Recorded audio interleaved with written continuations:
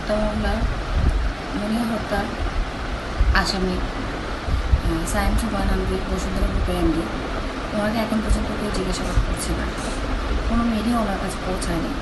মাননীয় স্বরাষ্ট্রমন্ত্রীর কথা অনুযায়ী উনি দেশেই আছেন। তাহলে কেন ওনাকে গ্রেপ্তার করা হচ্ছে না?